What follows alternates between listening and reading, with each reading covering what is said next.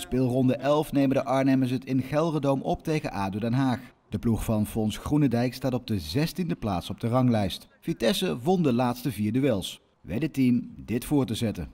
Leonid, 23 points in 10 matches. Uh, that's a record for Vitesse. What's the reason of that?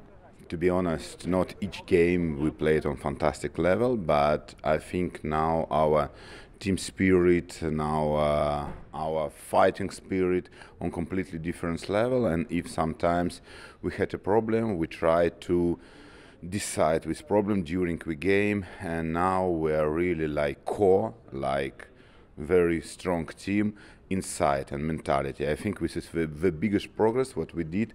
This is our mentality, but we will see because this is very instability thing and uh, each game possible to change. We have to be very careful in this situation and keep focus and 100% concentration.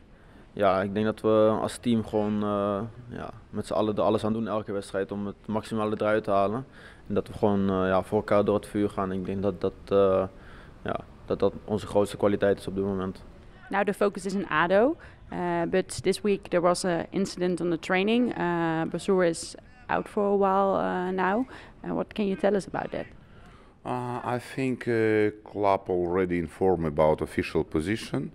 And uh, now I prefer to speak about players who is now in the team because this is more important. And uh, like for me this is big question mark or we lose one player or we receive 17 players yes who is really try to be together maybe more stronger when it was before. Yes, because with type of situation, this is possible two way or destroy team or maybe better atmosphere inside the team. Kijken we even terug naar de wedstrijd van vorige week. Uh, een clean sheet. Ook heel fijn voor een verdediger, denk ik. Ja, zeker. zeker. was weer eventjes geleden dat we de nul hadden gehouden. Ik moet toegeven, ja, het, uh, het had ook anders kunnen lopen. Ze hebben wel aardig wat kansen gehad. Maar gelukkig hebben we een goede keeper op goal. En uh, met een beetje geluk hebben we ja, de nul kunnen houden. En hebben we uiteindelijk gewoon uh, ja, een heel goed uh, resultaat neergezet. En dan schrijf je ook nog een assist eventjes op je naam. Hoe is dat? Ja, mijn eerste assist in, in de eredivisie. Dus ja, het is altijd leuk om, om een assist te geven. En ja, bij de 1-0 ook. Dus ja, voor mij een mooi moment. This weekend, ADO Den Haag. They have a bad period right now. What do you expect from them?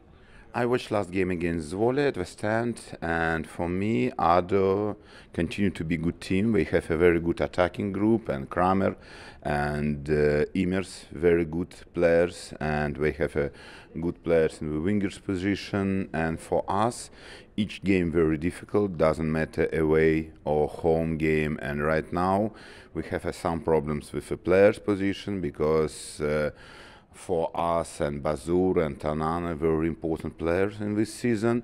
And of course, this is not easy to change with type of players, but of course we try. And like usually for us, it will be very important and very difficult game.